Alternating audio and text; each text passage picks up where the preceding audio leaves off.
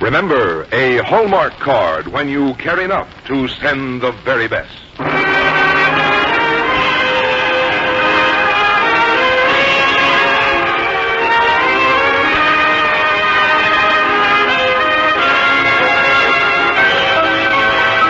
Tonight from Hollywood, the makers of Hallmark greeting cards bring you Edward Arnold in Laura Ingalls Wilder's The Long Winter on the Hallmark Playhouse.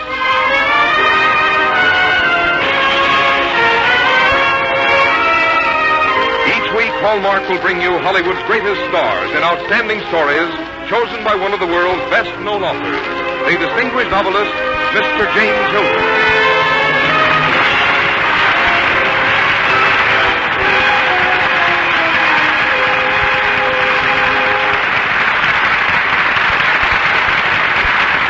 Good evening, ladies and gentlemen. This is James Hilton. Tonight on our Hallmark Playhouse, we present our dramatization of a story by Laura Ingalls Wilder called The Long Winter. Have you ever stepped from a transcontinental train onto the platform of some railway station when the temperature is 40 below? Even a few minutes of it is something you'll never forget if it's a new experience. But perhaps it isn't. Perhaps you've been living in a place like that this winter. Well, the characters of our story lived in the Dakotas many years ago. Indeed, they were the kind of people who founded the Dakotas. A fine breed. And to play one of them in our leading role tonight, we have chosen a fine actor, Edward Arnold. And now a word about Hallmark cards from Frank Goss before we begin the first act of The Long Winter. May we remind you once again that for every occasion important to your friends and loved ones, there are Hallmark cards to carry your thoughts across the miles, across the years, or merely across the way. A Hallmark card says what you want to say, just the way you want to say it. And that identifying Hallmark on the back says that you cared enough to send the very best.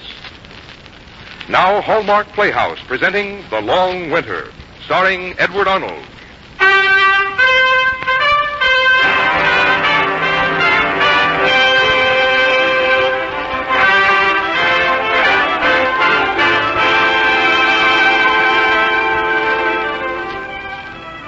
Laura made her way toward the old Buffalo Wallow south of the Ingalls claim shanty, she could hear the cheerful whirring sound of the mowing machine. Pa was cutting the thick and tall blue-stemmed grass for hay. The sky was high and quivering with heat over the shimmering Dakota prairie. In early August, it was hard to believe that wind and snow and ice could ever drive the sun out of the sky, wither the grass, and freeze the pond. Sam. Whoa, David. Whoa there. Whoa, whoa. I brought you a jug of water, Pa. Sure. Thank you, Laura. Fresh from the well. I pumped it myself. Uh, that's my big girl. That's fine. That just hits the spot. Phew. The sun almost makes you want to want a bunch of sprouts in your hat to make shade. I don't see how you stand it, Pa. Oh, a man works better when he's warmed up, half pint. Well, I'd better get on the move. Lots of mowing yet to be done before sundown. Oh, Pa, hmm. look. There's a haycock you didn't pick up. There is? Where? Over there. In the tall grass. Oh, oh by the pond there? well, that isn't a haycock, child. That's a muskrat house. It is? Let's have a closer look at it, shall we? The horses will stand. Oh, I'd like to. Gee, it's big, isn't it? Bigger than me. Ooh, and bigger around than the two of us could reach. Oh, my, my, we're going to have a hard winter, Laura. How do you know, Pa? Well, the colder the winter will be, the thicker the muskrats build the walls of their houses. You know, I never saw a muskrat's house built heavier than this one. But, Pa, how can the muskrats know Oh, about the winter going to be cold? Well, I don't know how they know, but they do. God tells them, I suppose. Then why doesn't God tell us? Well, because we're not animals, we're humans. And we've got to take care of ourselves. But I thought God takes care of us. Oh, he does, my dear, he does. He gives us the sunshine and the rain and the land. But we have to clear the land and plow it, and we have to sow the wheat and tend it, and harvest it and make it into bread for our use. And other men make other things. They work in shops and in factories. Some plan and invent, some supervise and manage, and all together we have built a great nation here in America. But each of us as an individual can do as it pleases, will it? Can't muskrats do what they please? No, my dear. Just look at that muskrat house. Now, muskrats have to build that kind of a house. They always have, and they always will. But folks build all kinds of houses. And if their houses don't keep out the weather, it's their lookout. Man's free and independent. Oh, Well, come along now, little half pint. Come along. Your mother will be wondering what's become of you. And I got to make hay while the sun shines. Lots of hay. We're going to have a long winter.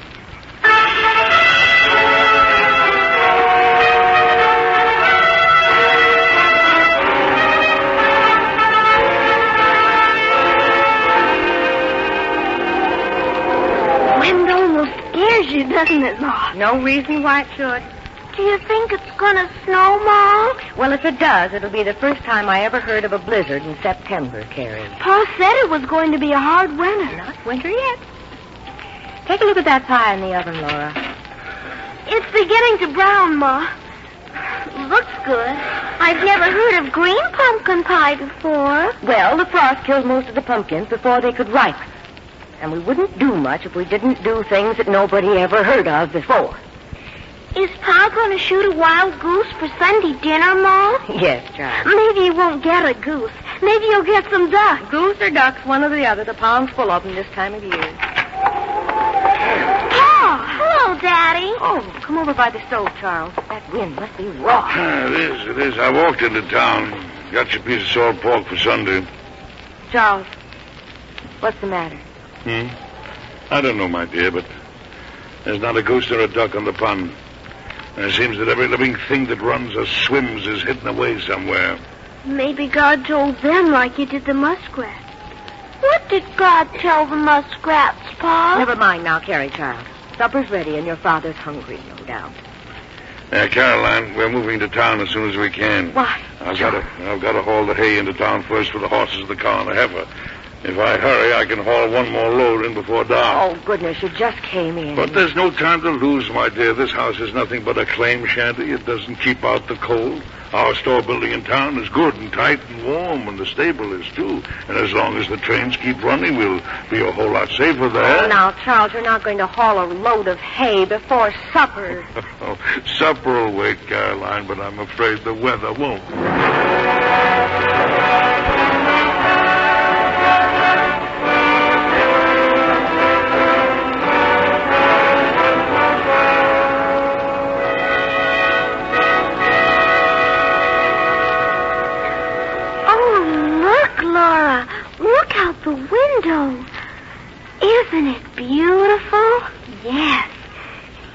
It is. Like a cloud almost. Dropping down. Yes, the snow is beautiful, all right, but just the same, I'm glad it didn't come till we got moved into town. But there's no telling when I can get the rest of the hay hauled in. Well, let's see now. Your father and I'll have the room at the head of the stairs. You girls can have the front room. I wish we had a place like this out in the claim. Well, you could be glad we have it in town, where a train comes every day with coal and supplies.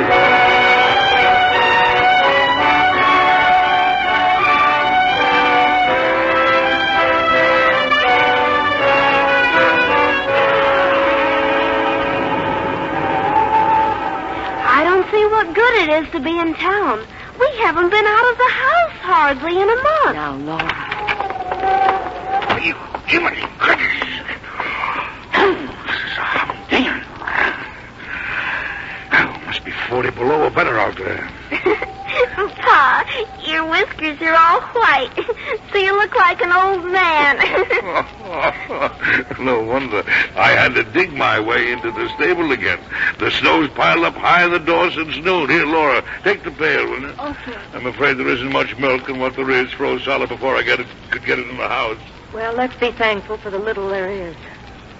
There'll be less before there's more.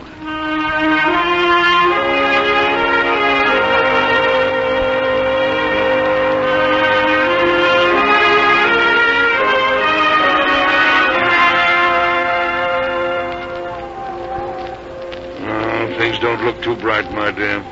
There's no coal left at the lumber yard. Folks burn so much in this cold weather, and old, old Eli didn't have much on hand.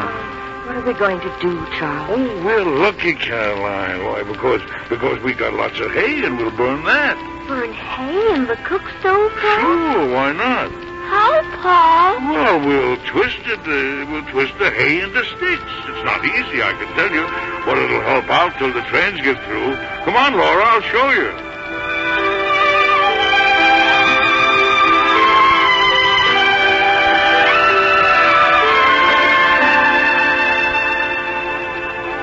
Well, there isn't a drop of kerosene in town. Loftus hasn't got a bit of meat or flour left in the store. Almanzo Wilder let me have his his last bucket full of wheat, though. Well, we'll just have to make that do. Laura, Child, fetch in a couple of handfuls of beans. Still a few left in the barrel. And five potatoes. Plenty of them, thank goodness. All right, Ma. You know, I wish there was a grist mill in town. Uh, you you can't just boil the wheat, can you, dear? Oh, but Charles, we have got a grist mill. Yes. Sure. Hand me that old coffee grinder. We'll get along until the train gets through. Oh, my dear. You're wonderful. Yes, we'll get along. Together, I know we will.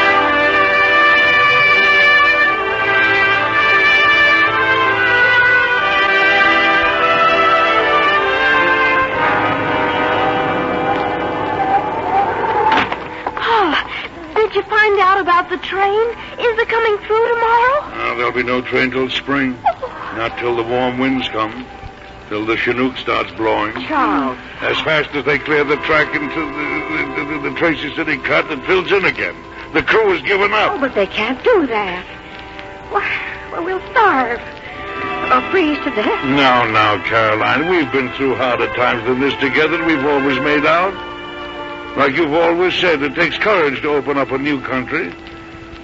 And faith in the Lord. You should carry, hand me my fiddle, uh, Here you are, Pa. Now, now then, uh, I want you to sing, all of you. Sing like you've never sung before. We want the Lord to know that the Ingalls have courage and faith.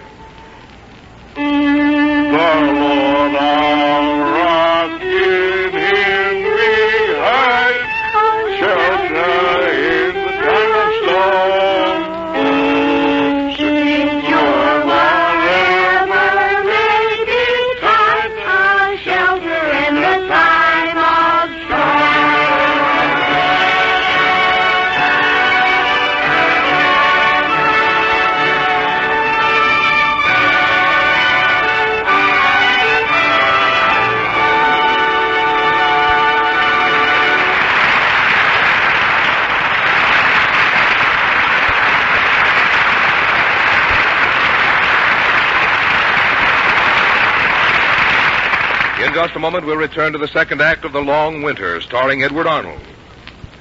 Around my house these last few weeks, I've heard a lot of talk about purple. It seems that's one of the big colors of fashion this spring, and all the ladies are planning on a hat of either lilac, orchid, or violet, or maybe all three.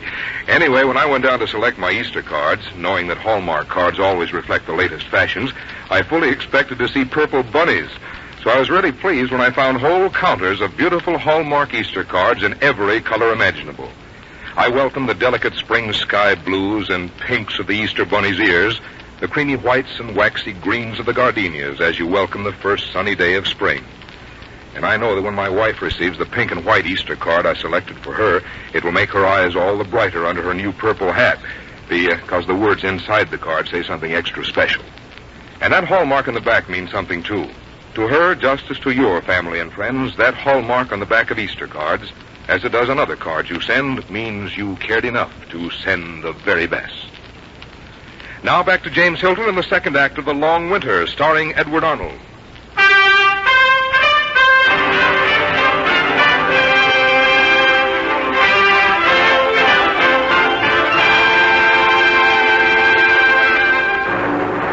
Pioneers who settled our Midwestern prairies were tough. They were determined, and they had faith. Charles Ingalls and his family were of this breed and blood, but even they found the Dakotan winter a challenge. The long winter that seemed as if it would never end.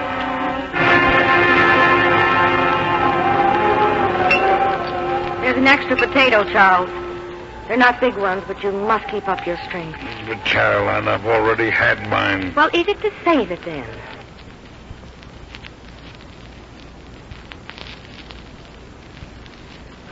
Don't want it, do we, girls? Oh, no, thank you, Pa. Truly, I don't want it. Sure. Well, in that case, uh, well, how's the potato barrel holding out? Oh, there must be almost a bushel there. But the wheat's almost all gone, isn't it? Oh, we'll manage somehow. Already it's the end of January, then February is a short month, and March will be spring. Yeah, there's nothing like pork grease to bring out the flavor in a potato. I'm afraid that's the last of the salt pork, Charles. And you know, Caroline, Loftus was telling me he heard there's a settler 18 or 20 miles south or southeast of here raised 300 bushels of wheat last summer. And he's wintering in his claim shanty. Oh, Charles, you're not going. Well, Loftus says he'd buy the wheat if somebody could go after it. He's the only man in town who's got the money to pay for it. I hope you're not thinking of starting out on such a wild goose chase. Well, a man might do it. With a couple of days of clear weather and a snowfall to hold up the sled. No. Oh, no, Charles, no. A blizzard might come up any time. And there are no roads, no marks of any kind. Mm, well. Charles, where are you going? Oh, I'm going over to Loftus' store. The Wilder brothers will probably be there, and maybe some of the others. I won't be long.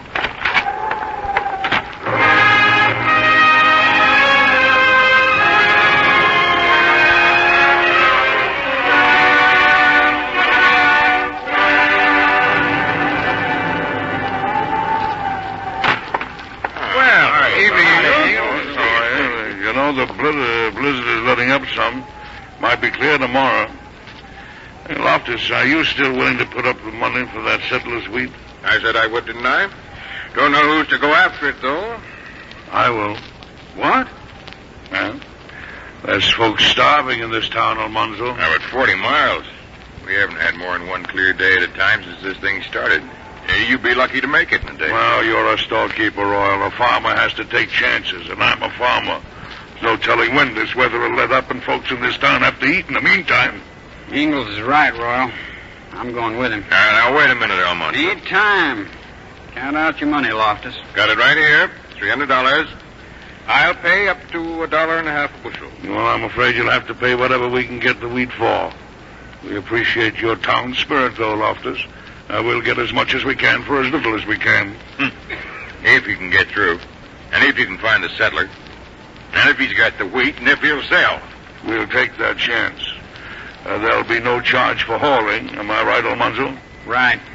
When do we leave, Ingalls? Just before sunup, as the weather clears.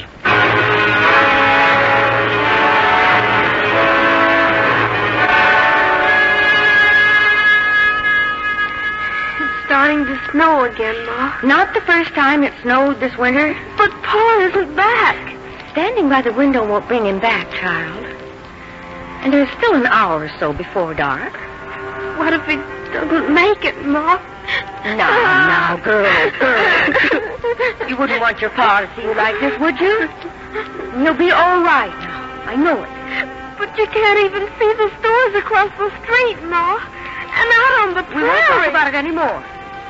Come on, girls. Now, if you'll sit by the stove here, I'll, I'll read you some verses. That'll help pass the time till Pa gets back. That's it. Smile. Let's see. Oh, here's one.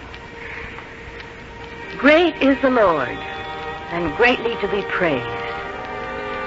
In the city of our God, in the mountain of his holiness.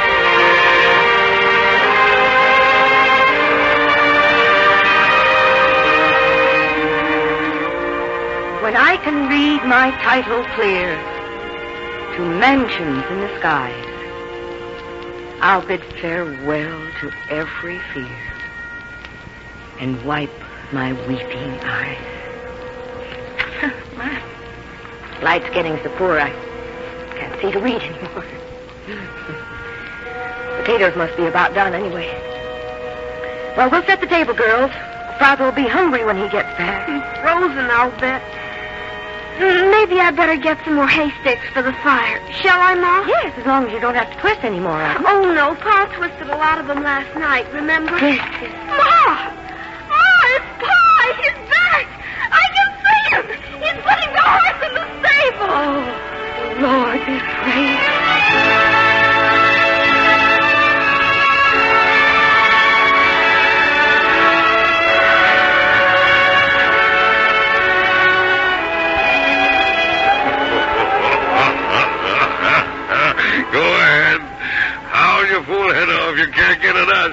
You've tried all winter, but we'll beat you now. How much wheat did you and Almanzo bring back, Charles? Sixty bushels at a dollar twenty-five a bushel. Loftus and some of the men are unloading it now.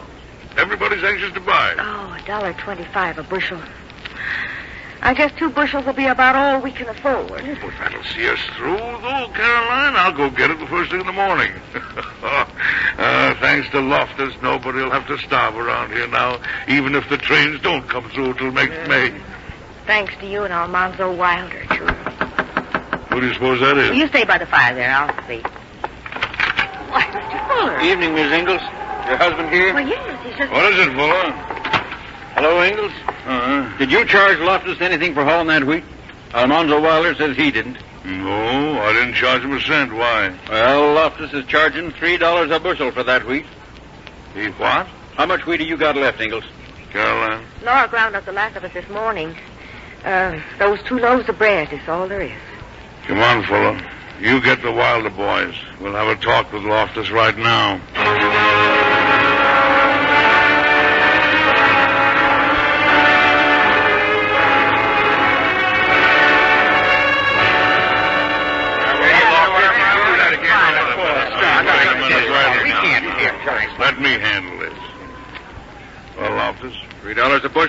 Said. My wheat, isn't it? I paid good, hard money for it. well, you paid a dollar and a quarter a bushel. That's my business. Now, we show you whose business it is. Look, you Wait a minute. so much as touch my property, and I'll have the law on you. That wheat's mine, and I got a right to charge any price I wanted for it. That's right, Loftus, you have. This is a free country, and every man's got a right to do as he pleases with his own property. But remember, Almanzo, and I didn't charge you a cent for hauling that wheat. Well, why didn't you? I stood ready to pay any reasonable charge for hauling. But three dollars a bushel. Ingalls and I didn't make that trip to skin a profit off folks that are hungry. Almanzo's right, Loftus. You know, there's not enough money in the mint to pay for that trip. We didn't make it for you. We made it for my wife and our two little girls and for all the other folks in this town who need that wheat to keep alive. Look at it this way, Loftus. We're all in this thing together. We've all got the same purpose. There's lots of land here for everybody.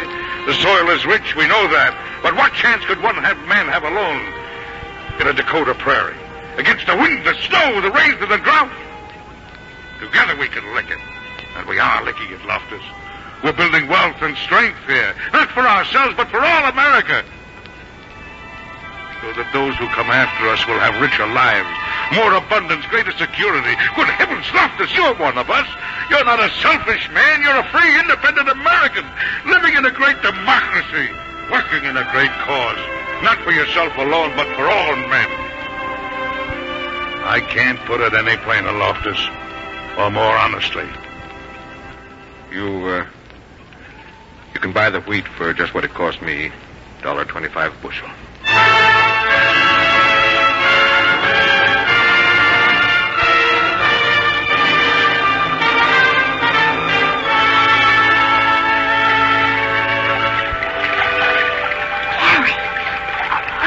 Carrie? Yes. Listen. I have been. The snow's melting on the roof. Look, it's running down in torrents. What does it mean, Laura? The Chinook is blowing. Come on. Pa! Ma, the Chinook is blowing. The Chinook is blowing. Yes, I know, girls. I know. Spring has come at last. And huh? breakfast is all ready. You can sit down just the way you are. In our nighties, Ma? Sure. Nice warm. Well, girls, we beat old winter at last, didn't we? Here it is spring, and none of us lost or starved or frozen. Just potatoes and bread, Charles. Not much to celebrate on. Oh, it'll taste different this morning because we know that the trains will be coming through soon. How you ever managed with so little, my dear, I'll never know. You're a real wonder, Carol. And I've got a lot to be thankful for. I'll bet the muskrats are glad the winter's over, too.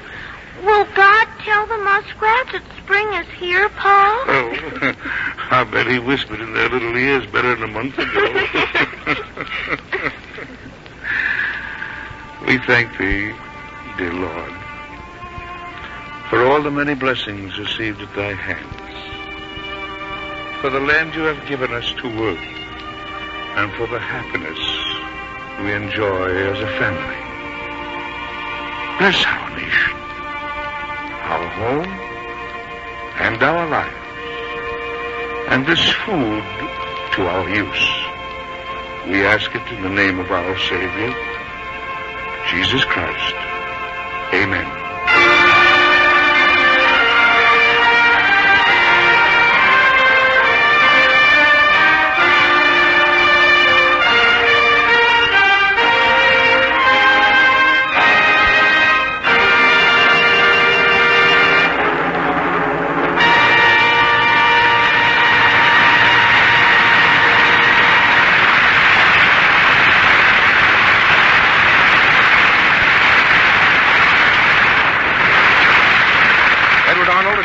Will return in a moment.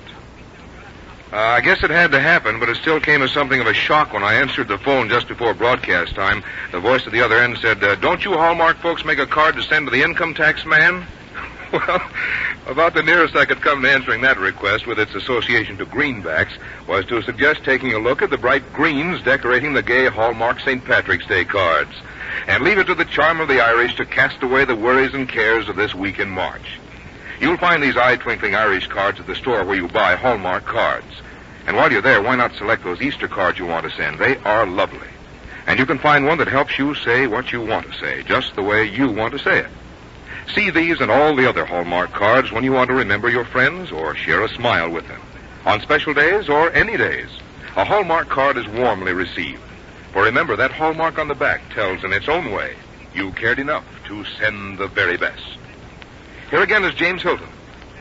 Whenever your name appears in the cast, Eddie, the audience can always expect a great performance, and tonight was no exception. Thanks for being with us. Well, it's always great to appear on the Hallmark Playhouse, Jimmy, and I enjoyed it very much tonight.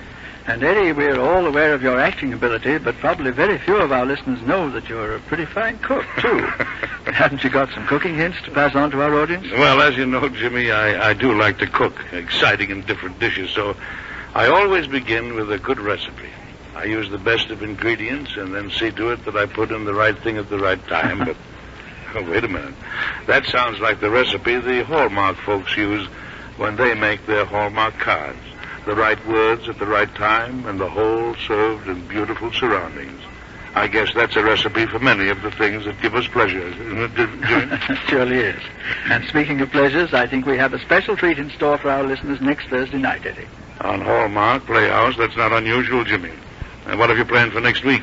Our story will be John Sedge's The Long Love, a very warm portrait of an American marriage and the problems encountered. And for our star, we have that popular young actor, Van Johnson. Our Hallmark Playhouse is every Thursday. Our director-producer is Bill Gay. Our music is conducted by Lyn Murray. And our script tonight was adapted by Axel Grindberg. Until next Thursday, then, this is James Hilton saying good night.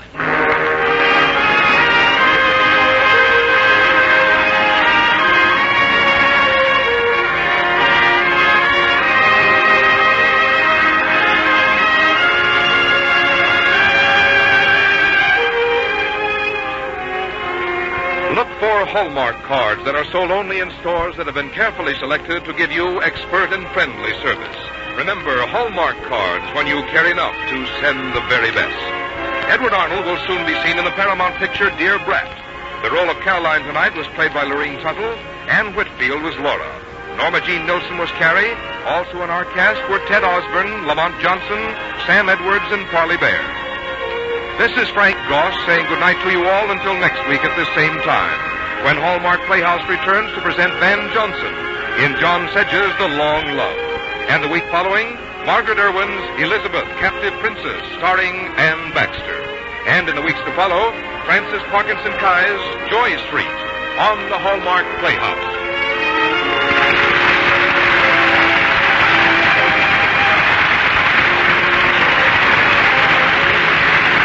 This is CBS, the Columbia Broadcasting System. KMBC, Kansas City, Missouri.